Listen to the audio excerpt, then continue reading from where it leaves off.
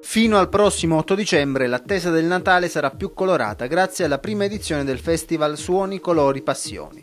Il progetto ideato da Vito Mercurio e partito ieri mattina con la conferenza di presentazione vedrà la partecipazione di Sua Eccellenza Monsignor Antonio De Luca, del dottor Antonio Nicola Setaro e Concetta Faraò. Il programma vede tantissimi eventi con l'arte e la musica protagoniste.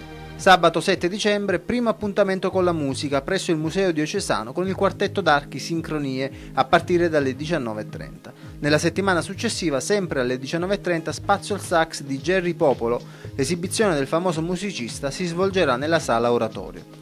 Si proseguirà con gli appuntamenti in programma sabato 21 dicembre presso la chiesa San Giovanni Bosco con Baroc, dal barocco alla musica rock, con i chitarristi Corrado e Marco Sfogli.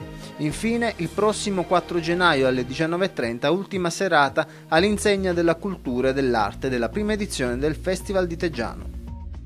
Facciamo la musica perché intendiamo fare linguaggio di arte, linguaggio di qualità e quindi non potevamo assolutamente escludere che so, il teatro oppure l'arte visiva. Allora abbiamo portato questa, questa mostra che girerà l'Europa in pratica.